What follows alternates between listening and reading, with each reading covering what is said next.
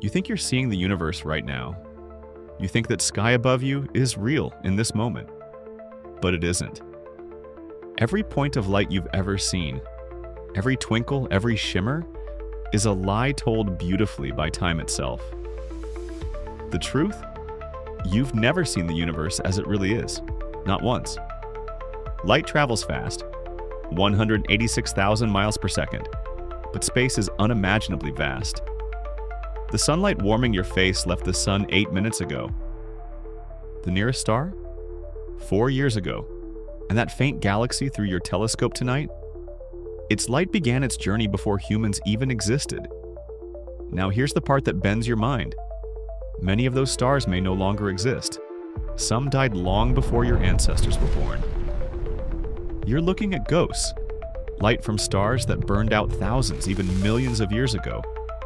Their death screams are still racing through space, and when that light finally reaches Earth, you'll call it a beautiful night sky. Astronomers try to predict where those stars are right now. They track their motions, their speed, their drift through the Milky Way. They run simulations mapping a galaxy that no one can actually see in the present. Because there's a catch. No one anywhere ever sees the present universe. Every telescope, every image you've ever seen, from Hubble to the James Webb, isn't a picture of now. It's a cosmic time machine revealing the universe as it was. The further you journey through space, the deeper into the past you travel.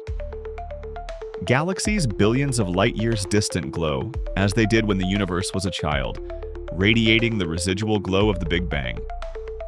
So, gaze up tonight. Remember, you are not looking at what is. You are looking at what was.